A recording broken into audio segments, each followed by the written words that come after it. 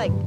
If it's slow or if it's quick, when I swing my stick, if I just move my hand, get response from the entire band, cause I can start these girls raising sand if I just move my hand. When I want the brass to play, I just, for the saxes I do a different way, like,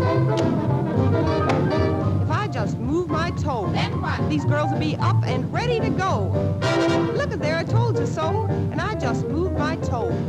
If I keep twisting my face, Let's mug it. get a lot of slapping and rhythm on the bass. Boy, she'll swing all over the place. Yeah. If I keep twisting my face, if I just wiggle my thumb, Beat it up, get a lot of licks and cymbals on the drum. That's where we get our tempo from. If I just wiggle my thumb, a high note, a low note, a beautiful, sweet note. All the girls are with me a hundred percent. So now we'll get show the way we swing.